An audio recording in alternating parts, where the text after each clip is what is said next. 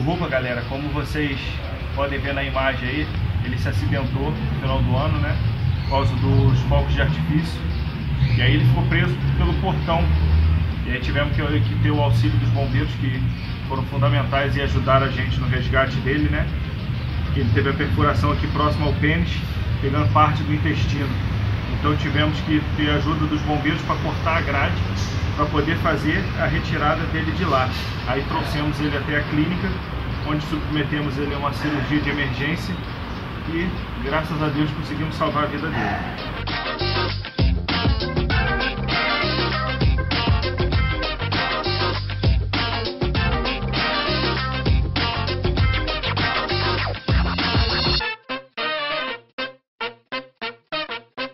Você que ama os animais como eu, curta nossa página, compartilhe nossos vídeos.